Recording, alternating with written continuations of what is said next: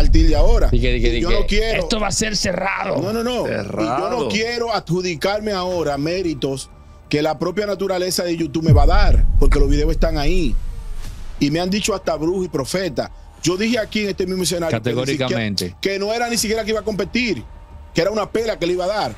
Se dio un emplazamiento a Leonel del sector de Omar Fernández. No, pero eso es, es una construcción, eso no es verdad. No, espérate, Es que espérate. eso no es verdad. espérate. Espérate, espérate. vamos a ver. Vamos a apoyar a Leonel, al problema, al profesor. Ahora, en el 32 es Omar.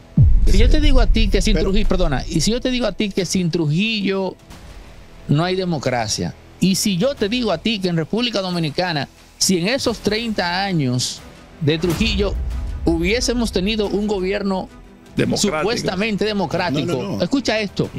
Para un tema gubernamental y estatal, eso va a tener y se va a pagar un precio por eso.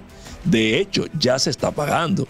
El retiro de la reforma fiscal, ¿a qué tú crees que obedeció? Y la segunda que el pueblo odia, ¿tú sabes cuál es? La ingratitud. Sí. Fíjate que Temístocles Montaz dijo muchísimas cosas de Leonel con el déficit fiscal, que eran verdad, porque Leonel hizo un déficit fiscal importante para hacer a Danilo presidente. Sin embargo, cualquiera lo podía decir, pero él no. Y la presidenta de México, que se juramenta como la primera presidenta, aún marcando el territorio de su, de su líder, eh, López Obrador, se mantuvo crítica con ciertos criterios fronterizos. ¿Por De qué? hecho, Trump es un medio vengador. Es- no, un medio no, es un total vengador social, Porque daban, intencionalmente. pero no es que eran propaganda, Exacto. porque te daban un tema siempre de cámara, unos puntos en el margen de error, Un empate arriba, técnico. pero allá siempre arriba. Claro, un y empate empate técnico. Sí. Ni estuvo nunca arriba y fue una sábana que le sacó de votos electorales. a mí me representa, representa y yo no quiero Y- mantener a ese es latino. que es un desorden. Porque el discurso del vago inmigrante lo que procura es precisamente hacer que el latino que está legal se disocie de eso porque te lo vende, y es la realidad, como una carga con Además, la cual tú es. vas a tener Es que... que lo el es. principal aliado. Vete a Nueva York. El presupuesto de la ciudad en gran medida se ha visto afectado por el tema de los que por la vuelta de México llegaron ilegales. Y New York se ha convertido prácticamente en un basurero de eso como Claro. ciudad santuario. El mayor dote de Danilo en la política dominicana es ser perfilador. Aquí no existe un político dominicano que tenga esa cualidad más desarrollada que Danilo Medina. ¿Cuál es esa cualidad? Perfilar. Ahora bien, hay un activo dentro del PLD que tiene condiciones y cualidades políticas legítimas reales en el PLD. Janel hablaba de Reinaldo Pared Pérez. Estoy hablando del par de Reinaldo, que era lo que generacionalmente les correspondía después de Danilo y Leonel. Estoy hablando de Hay varios acuerdos en el ámbito de la política local que tocan también al sector o a elementos dentro del sector empresarial y que estarían corriendo desde ya.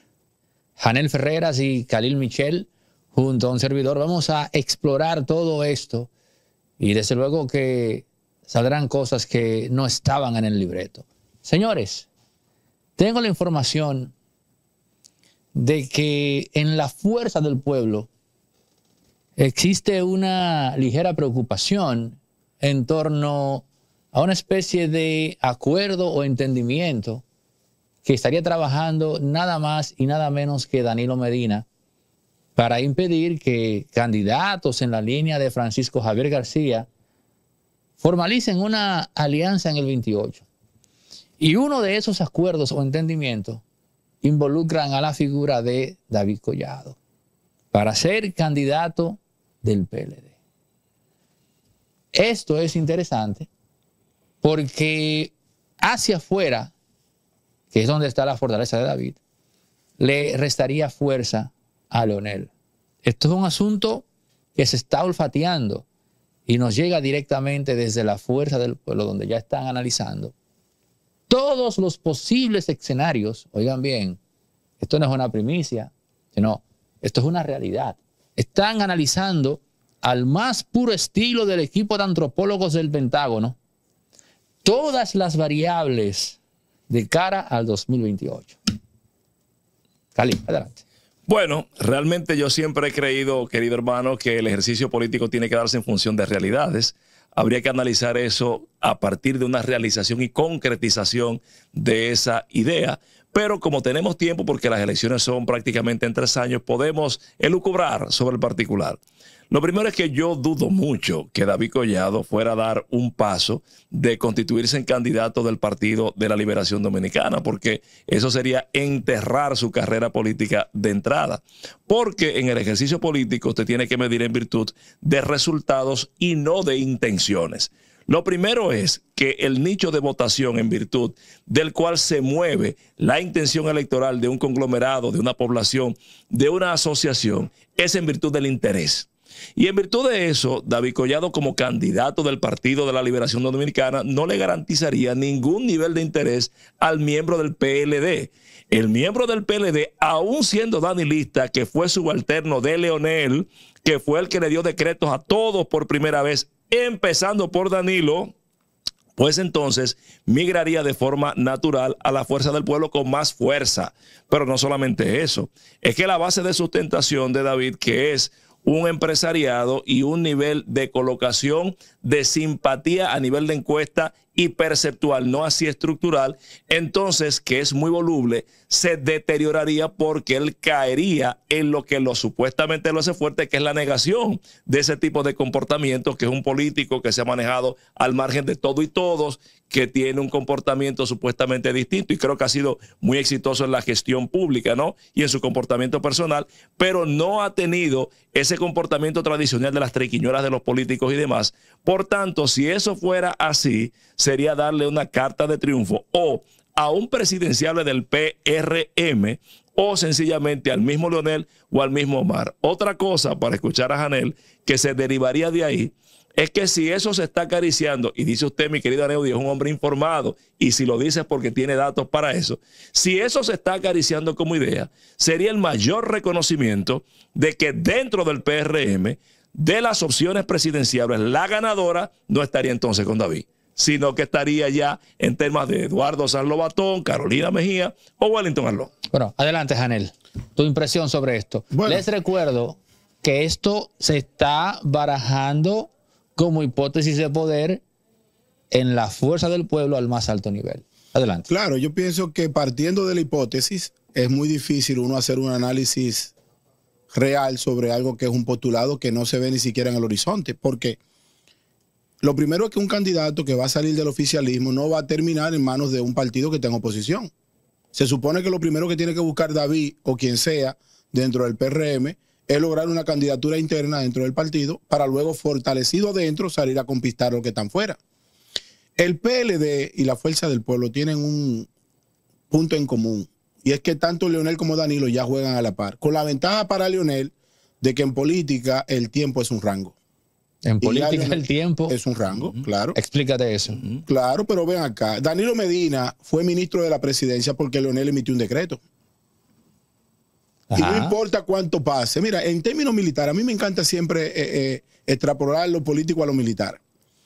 En términos militares, un general de brigada que se graduó en el año 1990 llega a ver a un coronel que se graduó en 1984. Y aunque el coronel lo salude por un tema de disciplina militar, en el subconsciente el general sabe que está ante un superior, porque le lleva seis años de academia y posiblemente le dio física también en la academia. Danilo Medina es presidente constitucional de la República y ya tiene ese, ese mérito hasta que se muera. Pero Danilo Medina fue un empleado de Leonel Fernández Reina. Es el responsable de jefe de campaña, fue el gran estratega, pero Danilo Medina construyó su problema para llegar a la presidencia bajo las soluciones de Leonel Fernández Reina. Si Leonel, Danilo no hubiese llegado a ser presidente de la, República nunca. Entonces, en el caso de la oposición, yo pienso que más que fijarse si conquistar a David, porque sobre David se han tejido muchas tesis y yo pienso que eso cae eh, prácticamente dentro de una estrategia de comunicación política para destruir su imagen. Primero lo contemplan con un acuerdo con quién? Con Miguel Vargas Maldonado. De hecho, eh, nosotros, los que tenemos algún tipo de historial político y de participación política, tenemos amigos en todos los partidos. Pero yo conozco dirigentes del PRD que ya están celebrando de que su candidato para el 28 es David. Es Eso que, hay, puede es que pasar. hay una. Escucha, es que hay testigos de una reunión de David Collado en la casa de Miguel, en donde después de la reunión a Miguelito se le vio muy feliz. Pero es que Pero partiendo. tal vez fue un encuentro de amistad, pero, fue pero- que se dio. pero yo estoy, pero yo estoy, yo estoy. Un amigo tuyo me dijo eso. Sí, pero yo estoy feliz de compartir contigo y con Khalil hoy. Y yo voy a salir de, esta, de este escenario muy feliz. Eso no significa que nosotros estamos haciendo un acuerdo. Eh, reencontramos dos viejos amigos que tenemos una historia en común. Ahora, al ritmo que van las cosas, David será candidato del PRD, ahora del PLD, del partido de Milton Morrison, que se pensó en principio que fue una creación para él, porque tenían un punto en común respecto a la financiación de ese proyecto. Milton lo niega categóricamente. Milton Pero dice Milton de puede donde- negar lo que él quiera. El jefe de Milton es el mismo jefe de David en, en el estado profundo. Él me dijo a mí que de dónde que la gente sacó, saca. Bueno, de la historia, de la realidad. Entonces, pero no, no importa lo que suceda, la realidad es la siguiente. De los, que lo- de los que los partidos tienen que cuidarse en esta negación de democracia interna rampante que hay, porque hay un elemento que a mí me preocupa mucho, que es la ausencia de meritocracia dentro del escenario político nacional. Esa tendencia de crear figuras en microondas, eso no funciona todo el tiempo. Por eso cuando los noticieros que ahora quedaron en desbandada la mayoría, incluyendo los que comunican, Por que tema de Trump y... no, no, exactamente. Esto se barajó a partir de ahora. Di que- di que- Y di yo que, no quiero. Esto va a ser cerrado. No, no, no. Y yo no quiero adjudicarme ahora méritos que la propia naturaleza de YouTube me va a dar, porque los videos están ahí. Y me han dicho hasta brujo y profeta. Yo dije aquí en este mismo escenario que ni siquiera- Categóricamente. que no era ni siquiera que iba a competir, que era una pela que le iba a dar. Entonces, en el mundo hay dos guerras. El guerra de la narrativa real y de lo ficticio. Lo real es que en la República Dominicana se está gestando en el vientre de la sociedad un vengador social. Por la reiterada falta de compromiso político que hay con los cuadros. Porque a todo eso yo siempre digo que lo más importante y lo más preciado que hay aquí son los dirigentes políticos. Porque de ellos se nutren los partidos y los partidos nutren la democracia. Nosotros no somos Haití, ni somos Venezuela, y posiblemente no somos Argentina, que tiene un crecimiento económico de menos 2%, porque los partidos políticos han sido fuertes y porque cada cuatro años aquí hay un sistema democrático. Eso de estar inventando con figuras que nadie conoce y colocarla al frente de, candidaturas, por ejemplo, eh, candidato a alcalde que tú no sabes de dónde viene, candidato a diputado que tú no sabes de dónde viene, cuyo principal elemento es el recurso económico. Y todos sabemos aquí que aquí hay figuras que se han construido por el dinero, que es importante, pero debe haber una ideología, debe haber un proyecto, debe haber un, plan. Yo recuerdo en la época que Calir empezó la política con un proyecto a alcalde de la capital, que la vez que la primera vez que yo lo escuché me llamó la atención antes de conocerlo, ¿por qué? Tenía un plan estructural para resolver los problemas que hoy todavía estamos padeciendo. Entonces tú tienes que entrar con sustancia a la política. Pero tú estás planteando algo, Janel, que es disruptivo en dos direcciones, porque hay un problema serio en el sistema electoral dominicano. Y es que el sistema electoral dominicano privilegia lo más popular, más no lo más capaz. Entonces, hay un tema que hay que diferenciar. Una cosa es el producto electoral, es decir, quien se vaya a candidatear, y otra cosa es el reconocimiento del funcionario que el partido que llegó al gobierno ha de colocar. Y me explico. El sistema electoral dominicano es votación universal, directa. No es un voto censitario, no es un voto de género, no es un voto racial, es directo y no por delegación. Eso significa que el voto del platanero y de Pepín Corripio valen lo mismo y que ganará el que más votos saque. Los votos no se pesan, los votos se cuentan. Se cuentan. Entonces, en ese caso, los candidatos, los partidos, ¿a qué apelan? A la popularidad capaz de motorizar lo que es la votación y con la logística, por no decir los cuartos, para poder llevar a la gente a votar o sencillamente torcer o acaudalar la ¿Sabes cuál es la voluntad. frase? Pero ahí Espérate, está- espérate, espérate, que cuando él dice logística, yo me río porque espérate, espérate, espérate, porque me recuerda la frase en elecciones. En mi caso con fulano, se liquidó con la logística. Yo, Claro, en una se- ocasión, se liquidó. En una. Se liquidó. Pero el que se le liquida es el que no volvió. el que no volvió. Pero antes, antes de eso, o sea, ese es el candidato. Por eso tú ves que aquí hubo una etapa de los sport. Fulanito sport, candidato a diputado, alcalde, qué sé yo cuánto. Porque en el barrio, en el territorio, ese es el que gana. O si no, gente sencillamente que es un influencer.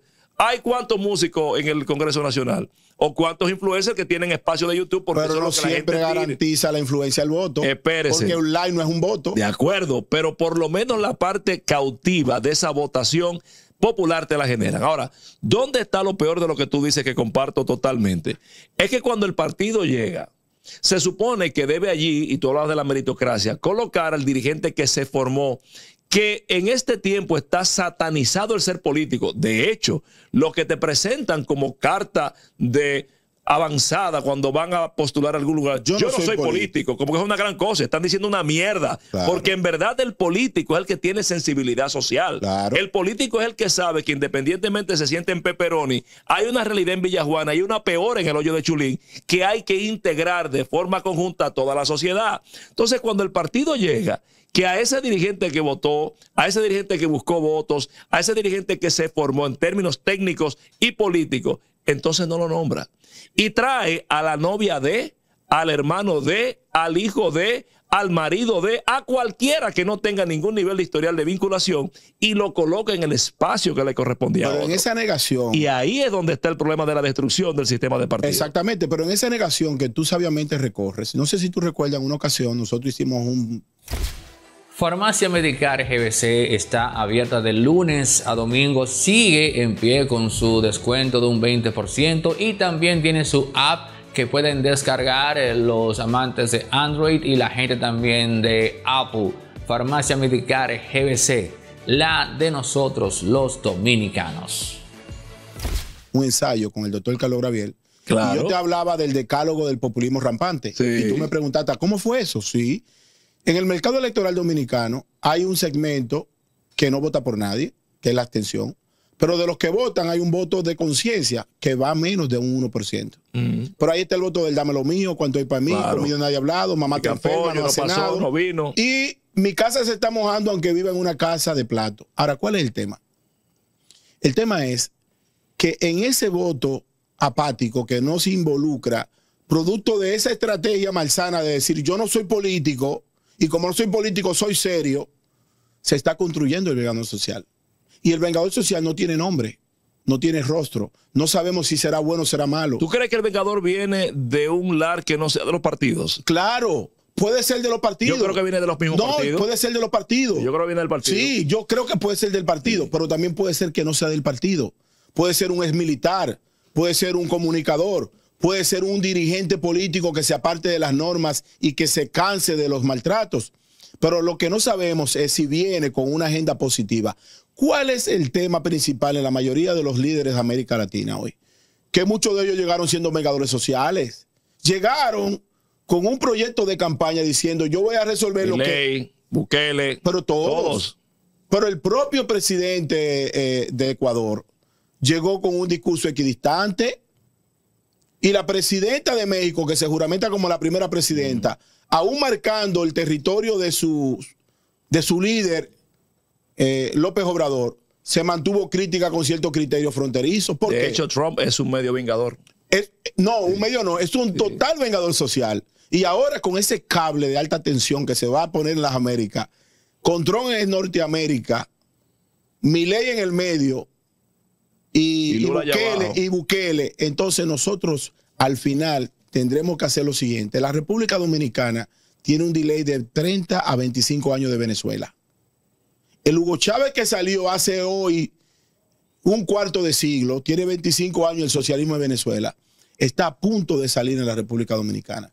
Y la responsabilidad es de nosotros no cuidar los cuadros. Porque al final yo pienso, Khalil, nosotros no podemos seguir en una rotación de quítate tú para ponerme yo. Nosotros tenemos que hacer un plan a largo plazo de qué queremos como república. ¿Qué nosotros vamos a hacer como un territorio productivo? ¿Qué vamos a hacer con la infraestructura? ¿Qué vamos a hacer con el drenaje? ¿Qué vamos a hacer con grandes temas con la educación, con la salud pública? Pero ¿qué vamos a hacer con la frontera y con los migrantes? Lo que pasa es que eso que tú dices, yo lo veo que debería ser el propósito. Sin embargo, mientras tengamos el sistema electoral que tenemos, no va a ser distinto. Cuando en tú el, dices- en el, eh, no, cuare- no, en el espera. 40% de los que ahí, participan. no, deténlo ahí. Cuando tú dices, mientras tengamos el sistema electoral que tenemos, no será distinto. ¿A qué te refieres? Muy simple, Estados Unidos acaba de ser la muestra de eso. Yo decía, si Kamala habría sido elegida en República Dominicana, ella gana. Pero por el sistema de votación y método en Estados Unidos, gana Trump. Y es lo siguiente, todo lo que se privilegia en República Dominicana en el marco de enarborar la democracia tiene que ver con popularidad. Lo que es la capacidad poco importa. Yo le voy a decir lo siguiente. ¿Ustedes imaginan a alguien que tenga un contingente mayor amueblado, que tenga un nivel de preparación municipal y un plan medianamente muy bueno para la capital como Domingo Contreras? Sin embargo, por el tema del factor de popularidad y de perfil electoral, Domingo no gana la capital. Te van a poner a quien tú quieras que se parezca al elector, que sea medio popi, que sea blanquito, que sea, ¿verdad? Y ese va a ganar. Ahora bien, cuando usted está en el tránsito con el taponazazazo, ¿dónde queda la popularidad? Cuando sus hijos tienen que compartir en Bellavista Mall, en Agora Mall en Blue Mall porque no tienen un espacio público donde compartir, ¿dónde queda la popularidad? Cuando no hay una huella vegetal y una expansión de la mancha verde en la ciudad y la ciudad tiene temperaturas insostenibles porque no hay un tema vegetal que pueda minorar la temperatura de la capital, ¿dónde queda la popularidad? Entonces, al margen de la popularidad, es un tema de capacidad. Sin embargo, en Estados Unidos tú tienes que el voto por delegación, que es por colegio electoral, hace un voto representativo que preserva y protege la democracia de sí misma, porque no te entrega a la popularidad la soberanía de poder decidir, sino a la capacidad. ¿Por qué los hispanos, por ejemplo, en Estados Unidos votaron en más de un 50% por Trump?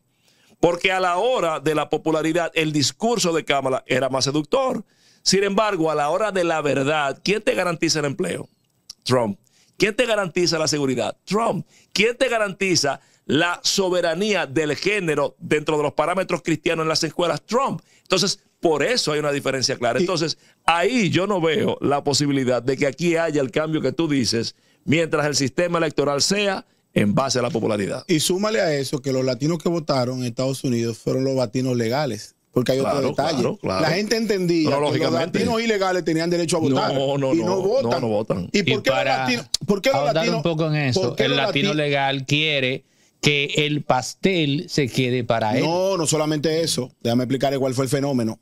El latino legal en Estados Unidos dijo, mi imagen que es muy bien construida de un inmigrante que viene aquí a aportar, a crecer, a fortalecer la economía, se está viendo afectada con una cantidad de compueblanos míos que llegaron ilegal por la frontera, que están pidiendo y fumando bazuco desde las 7 de la mañana hasta las 12 de la noche. A mí no me representa ese latino. Y a mí me ahí. A mí me representa y yo no quiero Y- mantener a ese Es latino. que es un desorden. Porque el discurso del vago inmigrante lo que procura es precisamente hacer que el latino que está legal se disocie de eso porque te lo vende, y es la realidad, como una carga con Además, la cual que tú es. vas a tener Es que... que lo el es. principal aliado. Vete a Nueva York. El presupuesto de la ciudad en gran medida se ha visto afectado por el tema de los que por la vuelta de México llegaron ilegales. Y New York se ha convertido prácticamente en un basurero de eso como Claro. ciudad santuario. Entonces, los Y el alcalde se residen- siente No, orgulloso. no, y lo dice, que Claro. seguirá siendo refugio para eso y para la gente LGTB, lo Claro, dice. Entonces, el, el latino que está allí no quiere eso porque se ve afectado. Por eso yo siempre decía que una cosa es la perspectiva de Trump desde Latinoamérica y otra cosa es Trump desde el latinoamericano allá en Estados Unidos. Óigame, los intereses del latinoamericano y otra cosa importante ahí es que, por ejemplo, el Partido Demócrata no entendió que las minorías cambiaron. El latino que está allí, el dominicano, ya no es solamente eh, como quisieron vender Telemundo y Univisión, eh, la migración ilegal, el ilegal, no, ya es una cuarta, quinta, séptima, octava generación que ya ha estudiado, Y que trabaja derechos, en banco. y sus intereses son los norteamericanos, lo que quieren es empleo, lo que quieren es que se acabe la guerra, porque mientras tanto la economía está jodida ya, sin embargo tú estás dando miles de millones de dólares para una guerra que no es tuya, que no tiene un tema de y democracia ella preservada. promete continuar ¿Entiendes? Con ese despilfarro O económico. si es que lo promete. Porque cuando se le preguntaba sobre varias cosas, let's turn the page, vamos a tornar la página, Eh, no podemos volver al pasado. Eso no es el liderazgo que queremos, pero dime una solución. Querida. Kamala. Kamala, claro. Sí. Dame una solución. Solamente basta ver lo que fue ese debate. de manera muy retórica, mire, y curveante, cada vez que había una, una pregunta directa, la migración. ¿Vamos a negar que había un tema de desborde con el tema migratorio en Estados Unidos? No. ¿Qué usted va a hacer? No, no, no, vamos a. Let's turn the page, Hay que otra entender, hay cosa. que entender. No, Además, no es así. Yo no entiendo cómo tantas personas al mismo tiempo se confundieron con el resultado de esas elecciones. Porque los estadounidenses en el estudio reflejo profundo de sus masas decían cuáles son los tres puntos que más les interesaban dentro del proceso. El primero, la economía. Economía. Donald Trump durante los últimos 100 años en Estados Unidos fue el presidente que disminuyó la tasa de desempleo más baja en un siglo. Él. Segundo, la guerra. Los estadounidenses no querían financiar esa guerra. Claro. Y por eso, en ese lobismo de guerra que hace el actor, porque yo no sé por qué Volodymyr Zelensky se viste de general cuando nunca ha marchado. Él dice no, y fue y se lo presentaron allá en una visita oficial. Y tercero, que fue el principal elemento, el tema migratorio. Bajo la gestión demócrata se originó el desorden migratorio más grande del mundo. Y yo lo establezco esto con una migración mínima. Usted en su casa se acuesta a las 9 de la noche, ni fuma ni bebe. No tiene por qué recibir a un vecino que se acueste a las 12, que fume y que vaya borracho. Los estadounidenses estaban delimitando entre una cosa muy clara, que es el gobierno de Trump, y otra muy clara, que es el gobierno de Biden, Adel, que no pudo desconectarse. ciérralo aquí, es simple. Como nosotros vemos el tema migratorio de los haitianos, lo ven ellos con los latinos. Punto. que es un tema a favor de nosotros. Punto. Por eso yo digo, la solución de Trump para el tema migratorio es la solución dominicana para el tema haitiano. Y por eso mi enemigo, el enemigo de mi enemigo Es mi amigo. posiblemente sea mi aliado. Señores, hay otro acuerdo que ¿Cómo, se Emma? podría estar fraguando también en el ámbito local que involucra a una figura candidateable del PRM al más alto nivel y una figura del PLD que no es Danilo Medina. A ver. O sea, un acuerdo PRM, PLD. No, no, no es un acuerdo PRM. Es lo que desarrolla, vamos a ver. No, no, no, no, espérate, porque es un, digamos, un acuerdo de, de presente hacia el 28. Yo te voy a dar el nombre de una figura y me voy a reservar el otro. No, pero démelo completo, porque como el padre y la fracción, si vamos a condenarla para absorberla, pues vaya y comete el pecado entero y entonces No. hacemos la absolución. Que, eh, señores, parece, miren qué es lo que pasa. Yo dije aquí en una ocasión, en el PRM se está manejando la narrativa entre los candidateables, como tú dijiste, de que quien sea el candidato en el 28 será eventualmente el próximo presidente y que tiene que darse un cisne negro de tal magnitud para que, por ejemplo, una figura como Leonel vuelva al poder. Están apostando a los elementos del Es una tesis equivocada de entrada. Bueno, bueno, eso es lo que están ellos planteando de aquel lado. ¿No? Eh, equivocado no, ya eh, la realidad se encargará de hablar en el 28. Claro. Pero ellos no ven a Leonel Fernández, por ejemplo, como, como un adversario que les Ah, no. no, no, no ven. No, Hermano, no oiga ven. lo que le voy a decir. De lo A primero, ellos, pero ¿cuál, es el nombre que usted iba a decir que de la No, te- dale, habla. Es simple. ¿Qué, qué nos deja de elección, por ejemplo, esta victoria de Trump, que es una elección universal que se ha visto también en procesos electorales en República Dominicana? Lo primero, las encuestas son instrumentos de trabajo, pero sobre todo hoy día son campaña. instrumentos de propaganda. De campaña. Las encuestas fallaron todas porque daban Intencionalmente. pero no es que eran propaganda, Exacto. porque te daban un tema siempre de cámara, unos puntos en el margen de error Un empate arriba, técnico. pero allá siempre arriba. Claro, un y empate empate técnico. Sí. Ni estuvo nunca arriba y fue una sábana que le sacó No. de votos electorales. Lo primero. Segundo, que el que tiene influencers no necesariamente gana. Todo el que tenía a todos los artistas era el Partido Demócrata, todos. Y diciendo abiertamente, hay una lista como de nueve que dijeron que se iban a mudar a Estados Unidos si ganaba Trump. Tendrán como mi hermano Rosendo Tavares que entregar la ciudadanía e irse. Y tres, sobre Rosendo todo. dijo eso también. Oh, pero Rosendo apostó públicamente en la cesta que si Trump ganaba, entregaba la, la- la- la ciudadanía. Pero Pero, qué bueno, locura. el tema es, no, lo que pasa es que hay muchas personas que entienden que Estados Unidos es Nueva York. Y, va- y evalúan el tema por un estado que es demócrata tradicionalmente y creen que el Estados Unidos entero, que es casi un continente prácticamente o medio, Sí. pues por New York o por Miami. Y no es así. No es Ahora bien, ¿Cuál es la otra lección que te deja el tema de Trump? Es que definitivamente, como decía Nicolás Maquiavelo en su libro del Príncipe en 1512, decía, nunca hay un hombre que esté más cerca de estar en el poder que uno que ya estuvo. Por eso la misión del príncipe nuevo es acabar con el príncipe viejo y toda su descendencia. Porque lo que nos deja esto como lección es que los que se van, vuelven. Entonces, si tú te miras, Luis Ignacio Lula da Silva. Volvió. Volvió. Donald Trump. Volvió. Joaquín Balaguer. Dos veces. Entonces, no es cierto que Leonel no es un contrincante. Todo el que comete el error de subestimar a un tres veces presidente en donde la gente le agradece y es el que está habilitado con un expresidente como Danilo, que está impedido, y un Luis Abinader, que es el activo político más importante del país, impedido, pues el camino de adelante lo lleva él. Pero en la es constitución primero. nueva, Leonel no está inhabilitado. No, doctor, No, jamás. no lo creas. No, no, no Luis está. se inhabilitó él y dejó, Oh. a Leonel. Eso fue Entonces, es yo no sé que está Eso es calculando hay una narrativa Si en el usted aire. sabe contar, no cuente con eso. Hay una narrativa en el aire que dice que los tres están inhabilitados, o No, los cuatro. no, no, no. El que, O sea, que de los cuatro expresidentes, incluyendo a Luis cuando salga, solamente Leonel está activo. Amigo mío, mi hermano querido Janel, el tema es que el que está habilitado es justamente el que sacó la cabeza de la oposición en el proceso electoral pasado. Yo pienso que Leonel se va a tragar a la- a- al PLD. Se lo va a tragar porque el PLD todos los días comete mucho más errores y está todos los días mucho más fraccionado. Y yo pienso que es normal. Yo hablo del acuerdo de la funeraria. ¿Qué es el acuerdo de la funeraria? Cuando se muere un dirigente político del- de la Fuerza del Pueblo, todos los PLDistas van. porque son compañeros de la misma cofradía. Cuando se muere un dirigente del PRD, todos los PRMistas van. Ese es el acuerdo de la funeraria porque se unen en el dolor. No hay nada más cerca de una gente de la Fuerza del Pueblo que uno del PLD. Claro. Y, El está- mismo- y están en el dolor de la oposición. el pero mismo líder ideológico. Ahora, pero hay no algo sé. ahí, Janel, hay algo, porque Aneo Díez es travieso. En ese caso, con el tema Yo tengo una, de, ese, de ese eventual, que todavía no sé el nombre, acuerdo, el PRM sí puede mantenerse en el poder, pero haciendo lo que hay que hacer.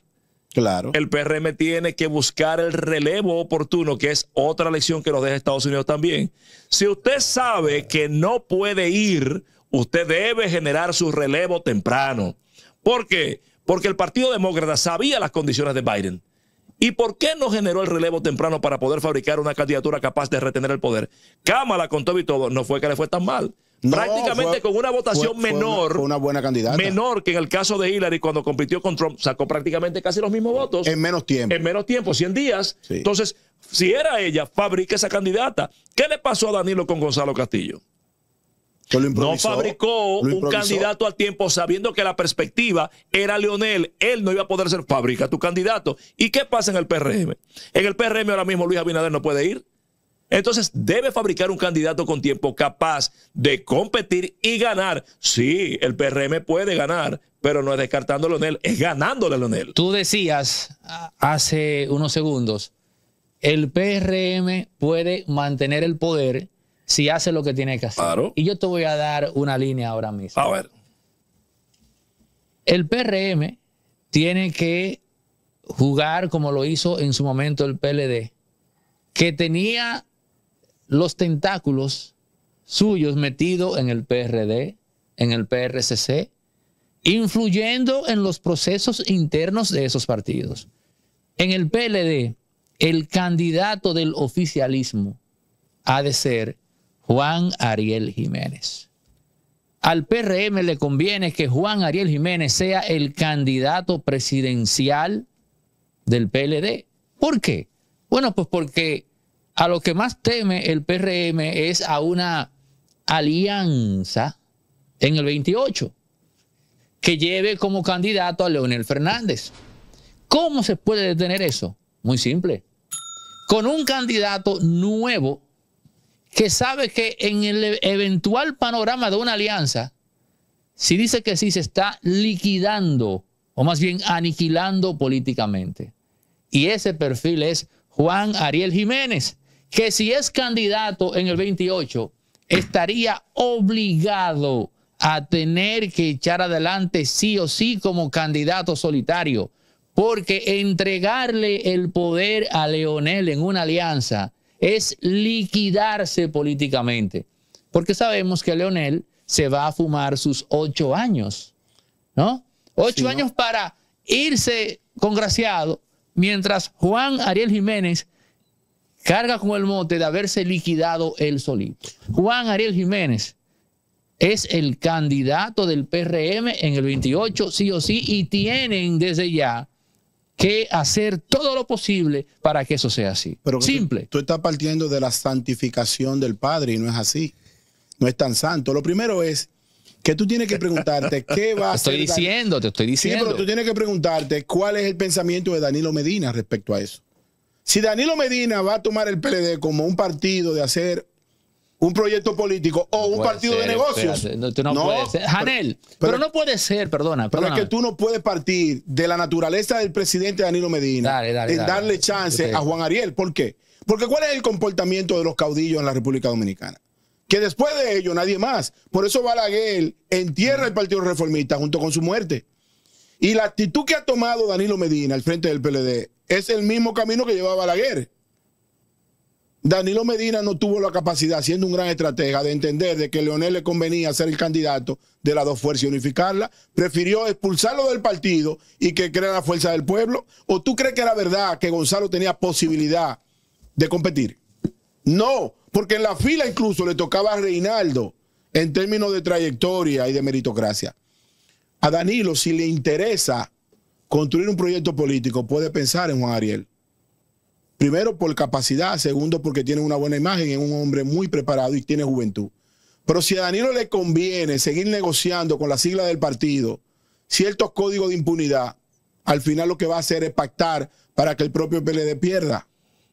Vamos Mira, a hacer, vamos a hacer no, una- déjame, déjame Sí, responderle favor, rápidamente. Mira, es que la variable Danilo Medina se maneja groseramente fácil. Porque el tema político de Danilo Medina no es otro más que impedir que Leonel vuelva a ser presidente. En ese sentido, el propio Juan Ariel Jiménez le juega esa ficha. Porque él sabe, Danilo, que es un gran... Bueno, mira, el mayor dote de Danilo en la política dominicana es ser perfilador. Aquí no existe un político dominicano que tenga esa cualidad más desarrollada que Danilo Medina. ¿Cuál es esa cualidad? Perfilar. Aunque Danilo le haya fallado en los últimos tiempos. es humano. Yo no, es yo humano. no concuerdo con eso porque Danilo no ha sido ese gran acertador político. Ha Es sido, un gran, humano. ha, sido, ha sido un gran beneficiario del ángel de Leonel. Recuerda, recuerda, Khalil, que aquí, el, aquí detalle es ¿Pero quién le debe más? ¿Leonel a Danilo No, o pero Danilo a. Leonel? Antes, antes yo de voy a hacer rápido. Él, él tiene algo que yo quiero opinar sobre eso del PLD, que es lo que ha dicho. Voy. El tema de Danilo Medina es Leonel. Y la razón por la cual Danilo es una variable ejecutable fácilmente es porque la oposición lo sabe, hermano mío. En el P la situación de Danilo ha llegado a un punto tan ridículo, atención Roberto Rodríguez Marchena, que en el PRM los precandidatos se mofan de Danilo por su tema con Leonel. Y todas las estrategias que se elaboran para, para neutralizar a Danilo pasan por Leonel, porque ellos saben y tienen razón que el tema de Danilo es si lisa y llanamente impedir que Leonel vuelva a ser presidente. ¿Y tú crees que la oposición Más dividida nada. gana? Pero vamos, vamos a ver esto, porque tú hiciste un planteamiento muy interesante desde la óptica del involucramiento del PRM y el PLD. Lo primero es que hay una frase popular que dice que el que lleva muchos cartones se le pasan la ficha. Una cosa es es el. PRM, claro, y otra cosa el PLD. Te voy a empezar por el PLD. Hay otro dicho popular que dice, caramba, tengo gusto de champán, pero cuarto para cerveza. Entonces, de querer, tú puedes querer lo que tú quieras. Hay que ver si puedes. En la coyuntura actual, donde ya el PLD tiene cuatro años en oposición y el leonelismo tiene 12, y cuando llega el 28 van a tener 16 y 8 respectivamente, en ese caso, lo que pueda hacer un Danilo Medina impedido cada vez se reduce más. De hecho, observen que la selección ahora de los miembros del Comité Político y Comité Central del décimo Congreso Reinaldo Pared Pérez, la votación de Danilo Medina quedó reducido un 70% del danilismo del Comité Central, que llevaba casi 500 miembros. Eso te indica a ti la reducción dentro del propio danilismo de las empatías hacia él. ¿Por qué? Porque ¿cuál es la misión de un partido político? Es llegar al poder para gobernar. Claro. Un partido político no se estructura para proteger, para enarborar, para deidificar a Para nadie. proyectar. A nadie. Es para llegar al poder. Claro. Y siempre buscará el lapso más corto, la vía más corta de llegar al poder. En este momento, el danilismo está cuestionado por el propio danilismo en el PLD. Y tiene un inconveniente. Que todos esos muchachos que han salido, incluso el mismo secretario general nuevo, son muchachos que salieron dentro del funcionariato del sector externo que Danilo, frustrado con el PLD original, enquistó en el gobierno. Obsérvelo, desde los miembros del comité político hasta las autoridades.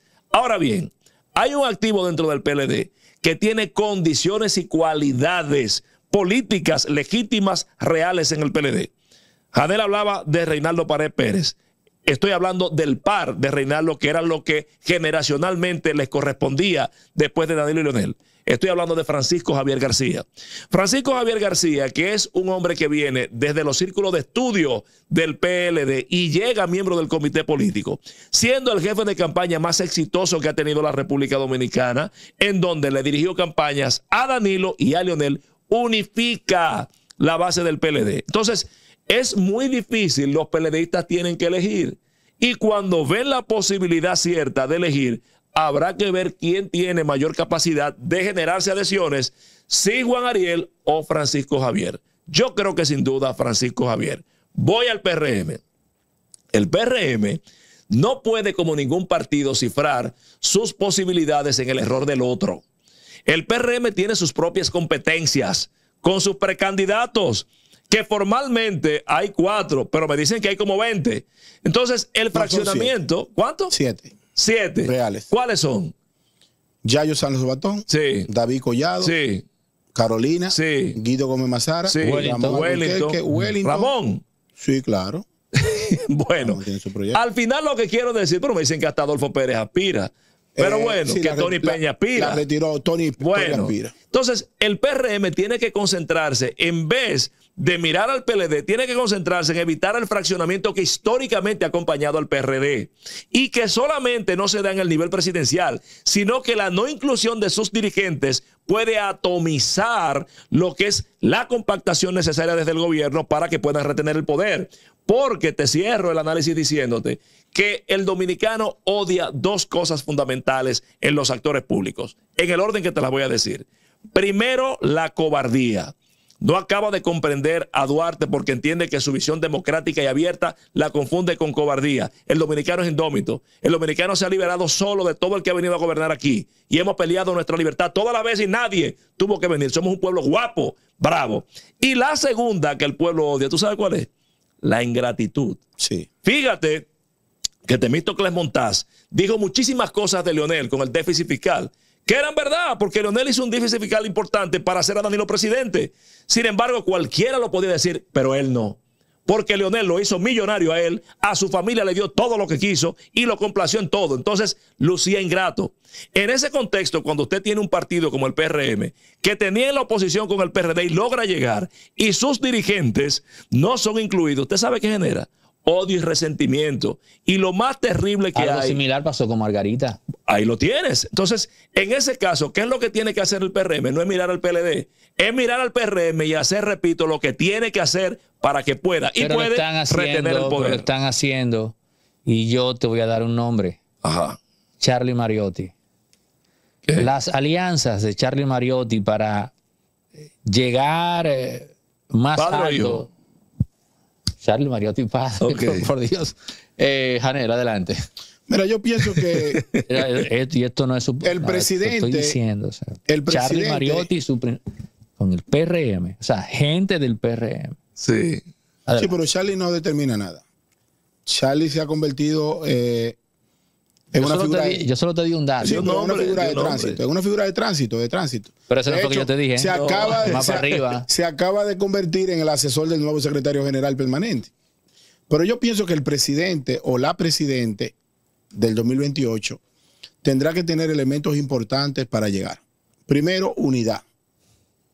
La oposición dividida no va a llegar nunca a la primera magistratura. Y por eso Y si te digo objetivo- que quien garantiza esa división Sí. es Juan Ariel Jiménez. Pero escúchame, es que si aquí se enfrentan dos posiciones, y Khalil lo ha dicho muy interesantemente. Si Danilo Medina existe para que Leonel no llegue y el PRM hace su estrategia en el fracaso de la oposición, entonces hay un problema. Porque no se sabe. Va a ganar el menos malo. Yo pienso que la gran ventaja aquí la tiene el oficialismo. Porque el oficialismo tiene las herramientas para construir con tiempo un proyecto presidencial amparado en la meritocracia y en el reconocimiento de las cosas que no se hacen. Entonces depende. De, ¿Tú lo condicionaste? claro, depende, de eso. Claro, pero es que nada llega al azar. Es que ya. Entonces, tiene que hacer lo que tiene que hacer. Exactamente, Ya. porque el pueblo dominicano hace tiempo que está vigilante, está observando. Aquí hace tiempo que se están dando movimientos que, aunque amparado en grupos de pensamientos importantes como Marcha Verde, el 4%, la cuestión amarilla, todo eso son movimientos ciudadanos que se organizan en una oficina y que los colectivos se van como, como manadas. El rol del dirigente aquí, aquí nunca la base ha llevado a nadie. La base forma parte de una estructura y la importancia del dirigente medio el dirigente alto sigue siendo fundamental. El creerse que entre lo viral y la tendencia se construyen proyectos está equivocado. Porque si no, eh, aquí grandes figuras hubiesen sido presidente de la República. Y no voy a mencionar el nombre porque ya algunos de ellos han fallecido. El dinero tampoco da garantías totales de triunfo. Si no, pregúntale a figuras importantes que Khalil y yo sabemos que estaban ahí, que tenían todo el dinero del mundo y no llegaron. En el escenario del 2028 hace falta estrategia fundamentalmente organizada alrededor de la gente. Palabra, compromiso, lealtad. Y sobre todo, no concurrir en los errores que se han concurrido hasta hoy. Porque hay mucha gente que no va a participar porque dice, total, si Khalil llega como quiera, yo estoy fuera porque él no cumple. Ese cubeo colectivo que está rodeando a los partidos políticos está afectando. Y eso no ha, no ha calado más porque todavía aquí no ha despertado ese vengador social que en principio yo le digo a ustedes, que despierte la colectividad. Señores, se ha dicho en estas últimas semanas que el presidente cometió un gran error al decir categóricamente que él no iba más, independientemente de que en su foro interno él así lo... Pero es la lo- constitución que no lo no, permite. no voy por ahí, eh, no voy por ahí, espera, tranquilo. Independientemente de que él tuviese o no la intención, para responder a eso que has dicho, de alterar la constitución o de lanzar una narrativa que justifique que él fuese, eso hubiese quedado a discreción de él. Pero dicen, este hombre acaba de decir que no va más y está proponiendo un asunto ahí constitucional para inhabilitarse él mismo. Y decían, eso le va a acarrear un problema. Lo van a dejar solo antes de tiempo. Y yo me decía, bueno, quizás ese planteamiento es muy apocalíptico, quizás ese planteamiento es muy ligero. Y no le daba mucha credibilidad. No lo era. Pero, escucha, escucha, espérate. Pero cuando yo veo al senador Alexis Victoria Yep diciendo que él pertenece al grupo de los leales al presidente, creo que fue una Z que lo dijo, Así es. eh, de los que no van a dejar solo al presidente, yo me puse las manos en la cabeza y me dije, yo no lo conozco, pero amigo, si usted quería ayudar al presidente, Todo lo contrario. lo último que usted podía hacer era salir a decir eso porque está confirmando que realmente ya están dejando solo al presidente. Bueno, yo te voy a decir una cosa. No se trata del presidente. Yo pienso que hay que separar una cosa de la otra. Creo que Luis Abinader ha tenido una responsabilidad y una coherencia que no ha tenido prácticamente nadie en República Dominicana al consignar y accionar constitucionalmente acorde con su predicamento. Ahora bien, eso es para un tema de posteridad y un tema individual. Para un tema gubernamental y estatal, eso va a tener y se va a pagar un precio por eso. De hecho, ya se está pagando. El retiro de la reforma fiscal, ¿a qué tú crees que obedeció? En su propio partido lo dejaron solo. Claro. Tú no viste, ustedes no vieron, amigos televidentes no escucharon, a prácticamente ninguno, salvo Eduardo San Lobatón, que sí defendió esa reforma, a ningún precandidato de los presidenciables defender la reforma fiscal de Luis Abinader. Guido salió también. Guido dijo algo también, sí. Pero, por ejemplo, atacaron al sector turístico mucho. ¿Usted escuchó a David decir algo? Habían 10 mil millones de pesos consignados para la municipalidad. Usted escucha a mi hermana Carolina, secretaria general y alcaldesa de la capital. No hubo un silencio colectivo. No hubo nada. Cuando se abrieron las vistas públicas en el Congreso, ¿usted vio a algún miembro del PRM ir allí a defender esa reforma? Nadie. Porque nadie se quiso meter al charco con el presidente. Cuando la retiró, ¡ay, bravo! ¡Qué bueno! Escuchó. Ajá. Y eso es por esa parte. Pero mire, pero hay una figura que resuelve todo ese problema, Khalil. Pero peor aún. Pero hay una figura que resuelve todo ese problema, que es el lapicero.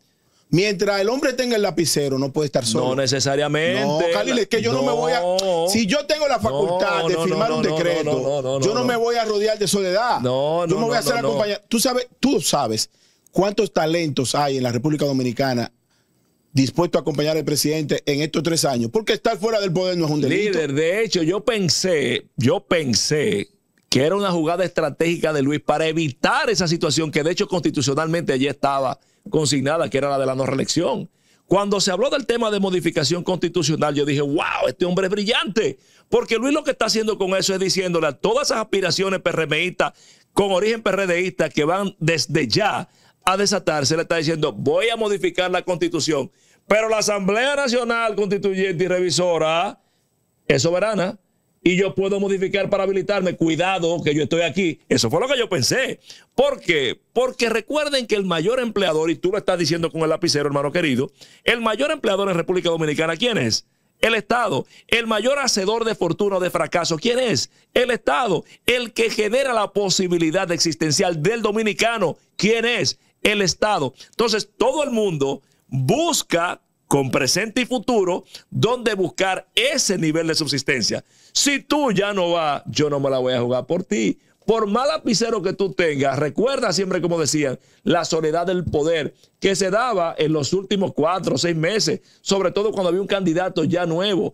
Pero en este caso va a empezar temprano. Y algo peor, que Luis Abinader es un hombre ético y es un hombre transparente que está pegado a cánones y criterios de transparencia y de hacer bien las cosas, que no va a instrumentalizar lo que es el gobierno con el lapicero para beneficiar sectores políticos. Entonces, eso va a agravar la situación. Pero lo puede hacer para mantener distancia, porque yo pienso en definitiva, yo pienso que el presidente hay que darle el mérito, como tú dices, de tener la coherencia de decir yo no voy. Además, yo le voy a decir una cosa a ustedes. Nosotros tenemos aquí prohibido hablar de Trujillo por la constitución. Aquí todo el mundo quiere ser Trujillito. Claro. Todo el mundo quiere reelegirse, todo el mundo quiere mantenerse. No es un delito que Luis diga no voy más. ¿Por qué? Porque ya él gobernó dos veces. Y los que dicen que va a salir muy joven, pues empezó muy joven. Si va a salir joven fue porque empezó joven. Es que la sociedad no se maneja así, Bueno, pero entonces, Khalil, si la sociedad no se maneja así. Empiezan los funcionarios a negociársele con la oposición y a darle cuarto a la oposición. Bueno, pero entonces, si eso pasa, si eso pasa, la salida más salomónica es de conectar a todo el que tenga un proyecto presidencial y que vaya a la calle a hacer todo lo contrario. Yo haría lo contrario. Yo, ¿Tú sabes qué yo haría en ese caso? Yo, en vez de coartar el accionar de los presidenciables, yo lo impulsaría porque la única manera de bajarse mm. Luis Abinader del Tigre sin que el Tigre se lo coma, no es solamente haciéndolo bien como él lo está haciendo, sino permitiendo que los presidenciales avancen para que puedan colocarse. El problema es que no se sabe cuál es el Tigre. No importa, tú has hecho política, yo he hecho política. Miren, posicionar un nombre a nivel nacional, señores, eso cuesta mucho trabajo y mucho recursos y mucho tiempo. Todavía Abel Martínez fue candidato en este proceso pasado y hay gente que no lo conoce. Muchísimo. Entonces, los presidenciales del PRM se van a enfrentar del lado del PLD con uno que ha sido jefe de campaña dos veces y lo conocen con todo el mundo y lo conocen en todo el país. Y con otro que ha sido tres veces presidente. Los proyectos del PRM son nuevos todos. Ninguno ha sido candidato presidencial. Entonces, al revés, yo impulsaría a esos presidenciales para que sean garantía de que el PRM y el legado de Luis Abinader se mantengan. Pero voy a, voy a, llevar el análisis de Khalil a un punto más allá. Vamos a ver. Tú hablabas de, de Luis Abinader coherente, de Luis Abinader ético. Ok, yo puedo comprender eso. Como también debo comprender, entrando ya a lo que se conoce como la sabiduría convencional, que es todo aquel conocimiento que me precede, todo aquel conocimiento que existe cuando yo ya llego a un ámbito X. Por ejemplo, el físico que se gradúa, bueno, eh, le corresponde actuar con los axiomas de la teoría de la relatividad, eh, Newton, etcétera, Einstein. Eso está ahí, es un saber convencional que forma parte de su campo. No es inteligente tú dar la espalda al saber convencional. En el caso de la política, saber convencional, cuando Luis Abinader llega a ella en su condición de presidente, es jugar con la percepción de poder. El poder es hermetismo. El poder es incertidumbre. El poder es todo lo opuesto a la certeza. Porque solo tú en tu fuero interno sabes cuál es la decisión que vas a tomar. Todo aquel que está en tu entorno, tú que tienes el poder, tienes que procurar ejercer ese poder sobre la base de la incertidumbre porque es precisamente la incertidumbre la que sostiene tu poder. En pocas palabras, que no te vean venir. Entonces, todo eso que yo he dicho es un saber convencional que forma parte de la política que existe mucho antes de Luis llegar. Yo no creo que un Luis Abinader más sensato se hubiese puesto en una condición de, si se quiere, de, de juzgarse internamente a sí mismo a nivel de ética y coherencia con ocultar, diría yo, o no decir a estas alturas tan precoz, por así, ¿no? Que no, que no voy. Eh, hermano, por algo lo hizo Balaguer. Maneudi. Disculpa, o sea, o sea, Balaguer, por algo él hizo eso. Balaguer, que en su condición de intelectual, sin tener una hora como que eh, hacer una, una geografía. Mm. Ahora, Balaguer conoce la esencia del poder porque se la ha leído, la experimentó y la vivió él como presidente. Aprende de eso. Por algo, por algo él jugaba con eso, Luis. Por algo Danilo, aunque fue chapucero con este tema, ¿no? También lo hizo así. Sí, pero es que hay un detalle. Es que Balaguer es herencia del régimen de Trujillo en términos políticos y Trujillo fue un gran estratega. Trujillo no es el sátrapa y delincuente que solamente no presentan. De hecho, yo creo que el hombre que mayor comprendió el Estado moderno fue Rafael Leonidas Trujillo, por eso es el padre. Por eso es el padre del Estado moderno, unifica la moneda. Exactamente.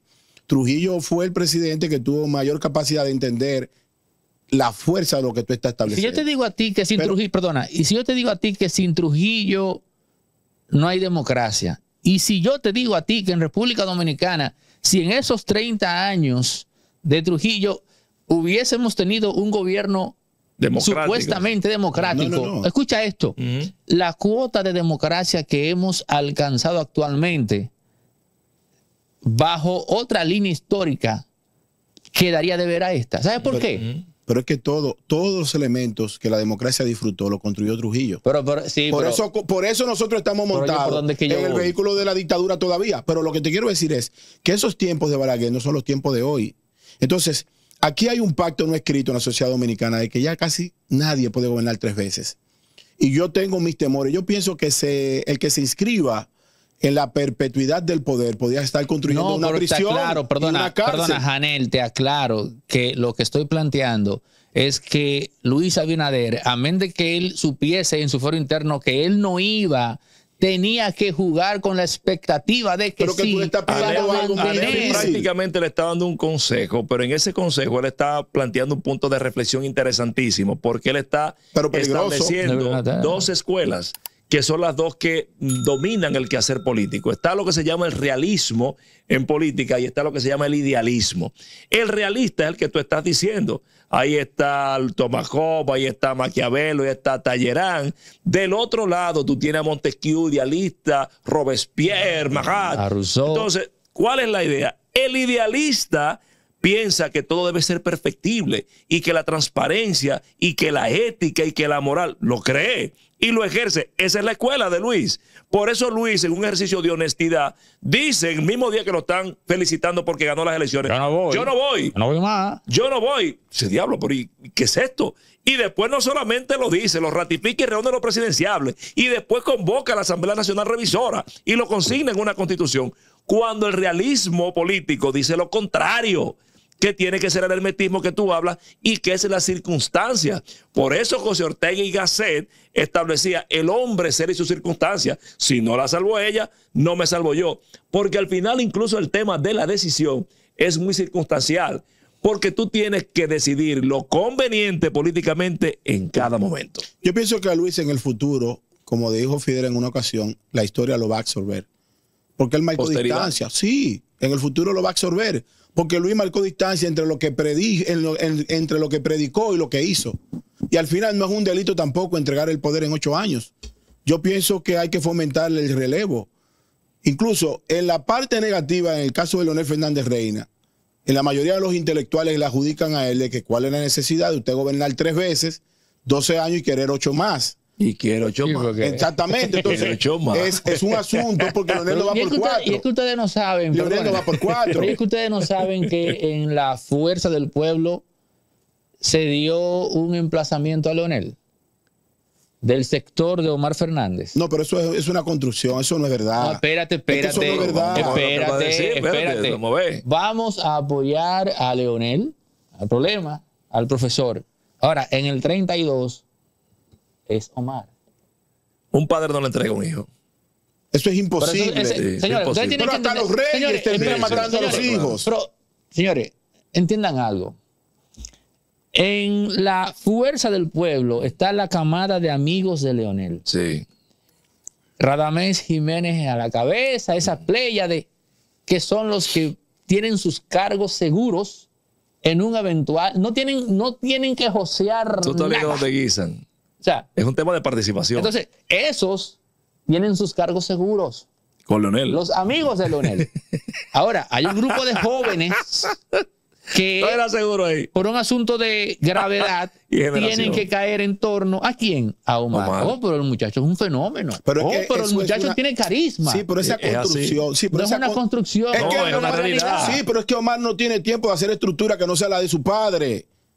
La fuerza del pueblo, a diferencia de otros partidos, es un movimiento electoral porque todo gira en torno a Leonel. Si Leonel desaparece, el Todos los parti- partidos son movimientos electorales. Sí, pero escucha un momento. El PLD, el. PLD, el PLD de Era. todo, era el que más se parecía a un ¿Y partido. Hermano, te terminó? estoy, En un estoy- movimiento electoral. te estoy informando que en la fuerza del pueblo hay un grupo nucleado en torno a Omar que asume que la única posibilidad que tiene de tener posiciones relevantes en un gobierno de ese partido es con Omar siendo presidente. Pero eso está bien. Lo que te estoy diciendo es que en la fuerza del pueblo, el que vaya contraria al rey terminó fuera. Normal. Leonel no construyó la fuerza del pueblo para tener disidencia, mucho menos de su hijo. Que todo lo que ha logrado que lo debe la correa. Pero es que Leonel sabe que si hay dos personas que le deben su vida a él, son Omar y Danilo. Ambos llegaron por él. Ahora te voy a dar un dato. Omar, Danilo y Margarita. En el caso de Margarita es un caso muy personal que uno no entra por el tema de matrimonio, pero también Margarita. Pero en el caso, y, y vamos a hacer una, una especie de paralelismo histórico, ¿qué pasó con la reina de Inglaterra? ¿Le entregó a su hijo o esperó, o esperó morir? Bueno, El la- hijo- la, sucesión es así. Pero el hijo, le, eh, pero no, pero tú puedes, Sí. eh, tú puedes adjudicar y puedes declinar Sí, el cargo y claro. entregarlo. No, ahora ya no. ¿Qué es lo que está pendiente ahora con el actual rey de Inglaterra que está pendiente de dejarle a su hijo la- el trono? Usted no puede entregarle el trono a una persona cuando ya está cansada. Leonel Fernández construyó la fuerza del pueblo para él morirse siendo candidato. Y eso hay que entenderlo. Pero yo no lo veo así. Yo como lo veo... O sea, tú piensas que Leonel le va a entregar Sí, el yo, 28 yo Omar? pienso que dependerá de las condiciones y de la 32. coyuntura. No, no, el 28. No, el 28. Él el le va a 28. entregar a Omar. Yo siento que Leonel tiene sentido de la historia. Y Leonel ha demostrado, y lo analizamos aquí el otro día, que dependiendo de las circunstancias, él se adapta a ellas. Por ejemplo, a Leonel le propusieron modificar la constitución en el año 2000 para que fuera. Balaguer se lo propuso y no lo hizo. ¿Y qué le faltaba a se- Leonel? ¿Y qué le faltaba a Leonel del 2000 que tiene hoy? No importa. Le faltaba la experiencia. No importa, Por eso pero- rompe con Amable. Pero también, eh, pero te lo voy a poner de esta manera, si es así como tú dices. Tú tienes que en el año 2004 a quien le correspondía ir era a Danilo, porque Danilo había contendido con Hipólito en el 2000. ¿Y quién ganaba? Leonel. Fue sentido de la historia. En el 2012, ya teniendo la experiencia que tú señalas, Leonel Fernández, que entonces no debió dejar pasar a Danilo, no cometió el error que hizo Danilo y entendió por sentido de la historia. pero amagó. Vallas del destino, dos millones de firmas, el parte- los ingenieros el constitucionalistas. sí, y al final, ¿qué hizo?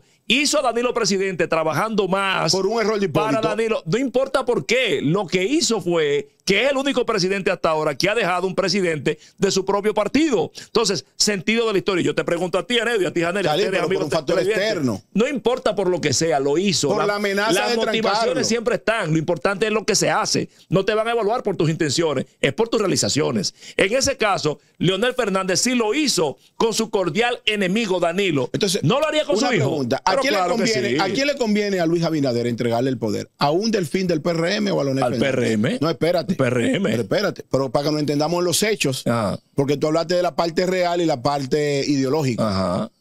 ¿A quién le conviene más al PRM entregarle el poder en el 28? ¿A un delfín de los que están corriendo Siempre de lo que están corriendo. o a Leonel Fernández? Nunca a Leonel Fernández. Siempre de lo que están corriendo. Un gobierno de un propio, si es propio, será mejor siempre que un contrario. Recuerda que en la historia del PRD, que es la matriz del PRM, cuando Guzmán entrega y termina en esa Ajá. tragedia, quien mete preso, Ajá. quien mete preso es por no querer entregarle a Jacobo y es Balaguer el que ¿Qué llega. le pasó a Salvador Jorge Blanco? Termina en ¿Le prisión. entregó a quién? Por le entregó a la oposición. A la oposición, ¿por qué? por negarse a un partido interno. No, no, no. Por, Por él no negarse entregarle a a un a un propio que al que le correspondiera a Jacobo Magluta, ese no era el tiempo de Peña Gómez, por el viejo odio entre Jacobo y Jorge Blanco, por el pacto violado con Guzmán. Recuerda que la alianza y el acuerdo en el 78 era el que quedara segundo. Recuerda que competían Antonio Guzmán, Salvador y Jacobo por la presidencia. 78. El que quedara segundo de Jacobo y Jorge Blanco sencillamente recibía el apoyo del tercero y, la si- vice. y si Jacobo se fue con Guzmán. Sí, pero si no el- se lo perdonó, le entregó a Balaguer y ¿qué pasó? Terminó preso. Ok, entonces, ¿tú crees que a Luis Abinader le convendría, no porque Luis tenga nada por qué perseguirle, No, pero ya la investigación es una sanción? ¿Tú crees que le convendría más entregarle a una fuerza del pueblo que iría aliado con un PLD, No, no, con el nivel de odio que tiene el PLD? jamás. Nunca en la vida. Pero una pregunta. ¿Y si el presidente Abinader entendiera de que su vicepresidenta, que ha sido eficiente, puede construir un proyecto presidencial? y No gana en el PRM ella. pero escúchame. Yo no estoy diciendo que gane o pierda. No gana. Si la empujan como candidata y como figura presidencial. Pierde afuera. El PRM tiene solamente tres alternativas para ganar la presidencia después de Luis Abinader. Oh. sí, sí, Tres. sí, esas tres. tres. Vamos a ver. Tres. Eduardo Sanlo Batón, Carolina Mejía o David Collado. Y de esos tres, porque Wellington Arnón, que es muy bueno, le falta todavía aventajar y construir ese proyecto que sea con certidumbre para ganar. Y de esos tres, yo siento que Luis habrá de apostar por el que va a ganar. Ahora, donde se aglutina el mayor nivel de concentración del luisismo y garantía es en Eduardo Sanlo Batón. Salirse de ahí, por ejemplo, un ejercicio. Pero hacia yo lo hablo claro. pero hacia afuera. Salirse de ahí de que con la vicepresidenta, eso es atomizar al PRM. Sí, pero hacia afuera. Ahí es entregarle a la oposición. No, pero hacia afuera se percibe que también David Collado está muy bien. Sí, Yo pienso que la que tiene la desventaja en este proyecto, en esta nomenclatura, es Carolina, porque Carolina es secretaria general un de del partido. orden, un de orden. Yo dije que se nuclea el luisismo. Yo no hablé de las posibilidades fuera. Pero no hace Donde falta. se nuclea el luisismo. Sí, pero el el luisismo proyecto de Carolina, ¿de quién es? de Hipólito, El proyecto de David, ¿de quién es? de David. El No, proyecto no, de no, Yayo, de ¿de quién es? De. De Luis. El proyecto, fíjate que ahora con lo de la reforma, quien sale a dar pecho, igual que cuando el PRM se fundó en las escalinatas del Tribunal Superior Electoral, es Eduardo San Sí, pero sigue la pregunta simple. Ajá. ¿A Luis le conviene más un luisista o uno que garantice el poder? un luisista que garantice el poder. Siempre, y lo menciono por cuarta vez, si hace el PRM lo que tiene que hacer, se queda en el poder con un luisista que continúe el legado de Luis Pero Abinader. hacer lo que hay que hacer tiene implícito también, insisto, colocar o pujar a que en la oposición se coloque un candidato que sea garantía de que no haya unión de la oposición, Va a ser de difícil que no eso. haya alianza. La oposición tendrá unificación. Qué raro que tú no has aquí relevado, más o menos revelado lo que se habla de cómo lo harían, porque el modelo que están planteando es el modelo chileno. Es decir, una concertación de oposición en donde los candidatos de cada partido, en este caso PRD, Fuerza del Pueblo, PLD, puedan ir de forma conjunta y presentarse a la militancia conjunta. Es decir, me explico, ¿cómo va a ser esto? En el PLD el candidato, ¿quién va a ser? Francisco Javier, ok, Francisco Javier. En el PRD, sin duda, Miguel Vargas. En la Fuerza del Pueblo ya se verá en su momento si Omar o Leonel. Si van, por ejemplo, a San Juan, Francisco Javier, lo van a recibir en San Juan los PLDistas, los fuercistas y los PRDistas. Y él hablará. Cuando vaya Leonel para San Juan, igual. Y entonces, eso es lo que se ha dicho hasta ahora. Y el que quede en primero será candidato. El que quede en segundo será vice. Es que Janel decía algo que es la realidad. No hay elemento que unifique más que la desgracia. Y la desgracia de un político es estar en oposición. Y uno con 8 y otro con 16 se van a poner de acuerdo. El PRM tiene ventajas importantes. ¿Cuáles? Tiene el gobierno. Úselo. Yo decía en campaña cuando las municipales mete al gobierno. Mete al gobierno que febrero es mayo, sin febrero no hay mayo. Metió al gobierno, ganó, mete al gobierno. Segundo, tiene una parrilla muy buena de gente sin tacha con un ejercicio gubernamental prístino apoye a su precandidato y fabrique su relevo con tiempo. Porque si es así, la gente le ha gustado el tema del cambio y creo que tiene una perspectiva de avance. Ahora, si no hay conectividad electoral, puede que sea como dice el refrán aquel, volvamos para atrás para volver para adelante. Bueno, y que a nadie se le ocurra, escuchando a Khalil ya para cerrar, que a nadie se le ocurra la fórmula opositora de, bueno, manito, vamos a hacer esto, tú sabes, apóyame, apóyame a mí, eh, tú quédate en segundo, yo voy a hacer cuatro años y luego yo te voy a apoyar a ti. Porque eso no tiene nada de nuevo. Eso ya pasó en la antigua Grecia y sin entrar en detalles, tengo para decirles que terminó en una guerra civil. Así de, así de bien ese experimento que terminó en una guerra civil cuando el que estaba en el poder se negó a cumplir su, eh, su parte del pacto, que era entregarle al relevo. Señores, eh, gracias. hermano. Yo pienso que, la parte, finalmente, la parte más importante para Luis será cómo él puede desconectar los proyectos presidenciales del gobierno. Porque si lo mantiene, va a tener un tema ético, y si los aleja y lo manda para la calle, ellos van a construir proyectos. Yo pienso que lo que más le debe conectarlo más Sí, pero conectarlo con una ideología de conexión real de las bases. Conectarlo con realidad electoral. Porque sí, pero no la tiene. Tiene que ganar. Pero la principal queja de los dirigentes es que los funcionarios no lo ven. El consejo que le doy justamente al PRMCS, recuerde que la política, decía Ricardo Rabel en su libro de Quiero ser el político, a diferencia del deporte, lo importante no es participar, lo importante es ganar. Y para ganar hay que gobernar para ganar. Bueno, señores, eh, impolíticamente correcto Janel Ferreras, Khalil, Michel, análisis, reflexiones de lujo sobre el poder en República Dominicana y la guinda del pastel. En el medio, el análisis de la victoria de Donald Trump. Si no se han suscrito, háganlo, activen la campana, comenten, compartan, den like en pie. Hasta el próximo.